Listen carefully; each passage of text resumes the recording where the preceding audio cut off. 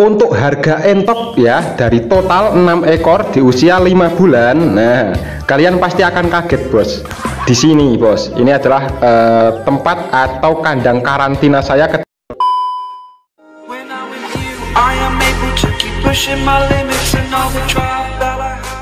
Hey see you bosku. Assalamualaikum warahmatullahi wabarakatuh. Come back with me. Nah di video kali ini saya ingin berbagi ini bos ya. Berbagi soal apa ya? Mana gue tahu? Uh, Pengetahuan ya kok pengetahuan. Uh, Soal harga entok lah bosku. Soal harga entok ya Pada tanggal sekarang tanggal berapa ini bos? Mana gue tahu uh, Tanggal 30 Juli ya 2021 Nah ini Alhamdulillah bosku saya baru uh, barusan lah barusan dapat. Uh, entok ini berjumlah 6 totalnya 6 ekor itu dengan harga PPKM bosku. Ini mantap ini bos. Sombong amat. 6 ekor entok ya ini, ini totalnya totalnya 6 ekor entok satu jantan 5 betina bos. Di usia ini kalau menurut uh, si penjual ya si penjual atau si petani itu mengatakan ini umurnya lima bulanan bosku. Lima bulanan ya semuanya lima bulanan.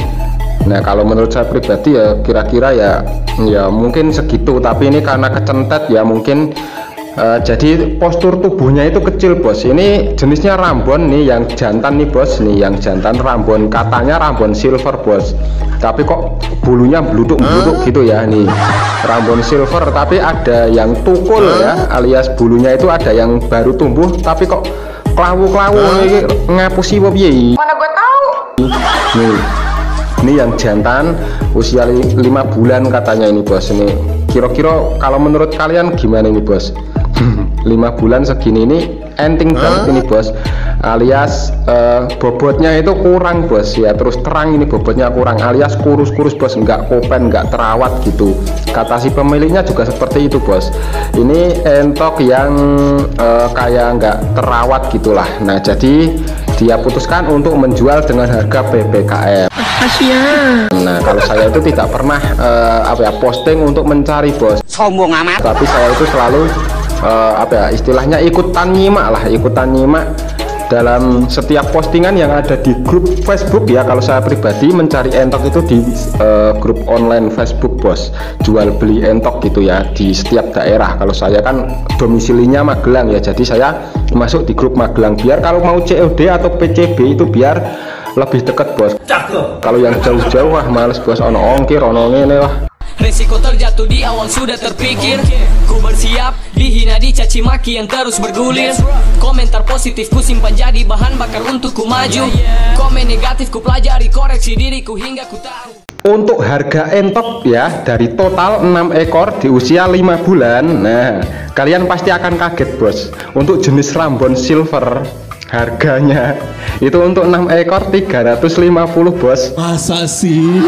Yakin sumpah orang ngapusi bos. Kalau kalian tidak percaya saya screenshotkan ya. Chattingan saya di messenger ya dengan si penjual itu ada bos nih. Saya kasih buktinya bos. Ndak ndarani ngapusi gitu ya. Negeri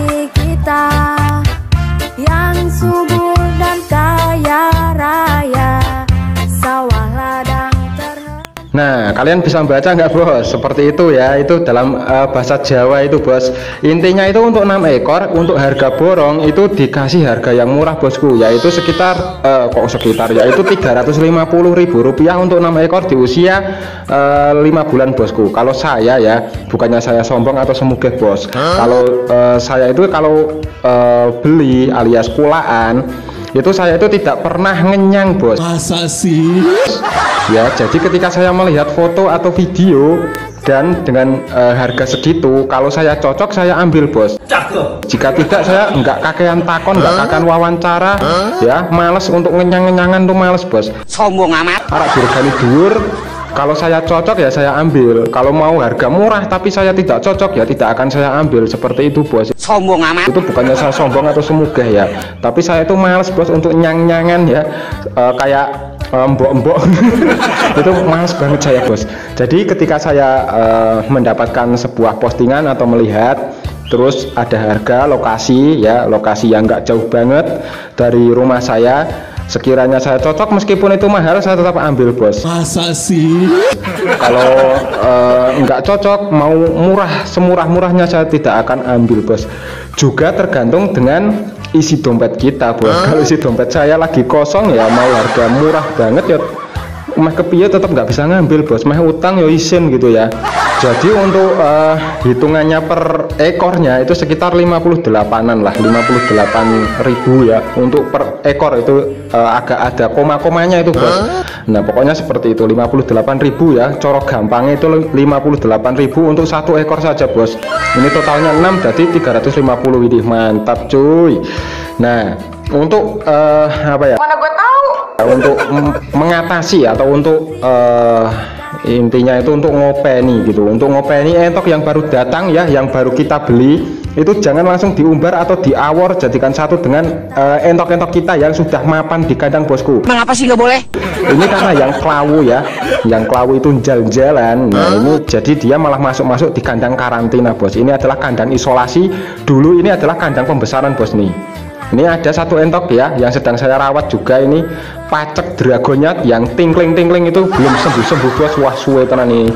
Nah di sini bos. Ini adalah eh, tempat atau kandang karantina saya ketika saya baru mendatangkan eh, entok baru bos. Jadi saya karantina di sini minimal itu tiga hari ya untuk entok yang baru datang misalkan kalian eh, baru membeli ya entah siang ataupun malam itu jangan langsung diberi makan bosku. Emang apa sih nggak boleh? alias dipuasakan dulu minimal itu setengah hari tapi kita sediakan eh, minum. Kalau minum itu tetap disediakan bos. Kita sediakan minum kalau bisa syukur-syukur dikasih campuran vitacik tapi jika tidak ada vitacik ya itu kayak gitu. Kalau saya menggunakan molase dan E4 nah ini karena baru datang jadi saya tidak berani untuk memberikan pakan. Kenapa? Mana gue tahu. Karena entok itu Eh, ketika berpindah kandang apalagi kita ambil dari kandang yang agak jauh dari rumah kita itu akan entok itu akan stres bos. Stres dalam perjalanan gitu. Nah jadi kita diamkan dulu setengah hari nanti baru kita kasih makan di malam hari atau di pagi hari. Seperti itu bosku kalau saya pribadi loh ya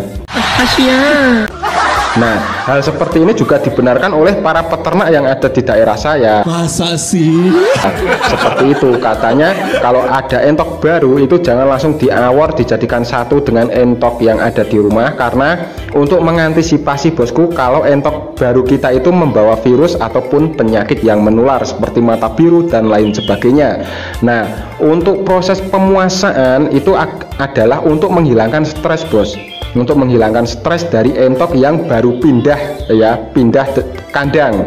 Karena entok itu eh, unggas yang sangat mudah untuk stres. Jadi dia bisa stres dalam perjalanan stres untuk lingkungan baru. Nah seperti itu. Jadi kita diamkan atau kita eh, tempatkan di eh, suatu kandang isolasi bos seperti ini nah ini disemprot dengan Baiklin juga lebih bagus lagi bos. Nanti sore saya akan semprot ini ya. Nah jadi eh, kalau kalian baru membeli kalau bisa ya mending diisolasi dulu. Untuk mengantisipasi bosku karena cuaca sekarang itu ekstrim sekali. Oke cukup sekian video dari saya. Semoga bermanfaat. Eh, saya akhiri. Wassalamualaikum warahmatullahi wabarakatuh. Salam pejuang ternak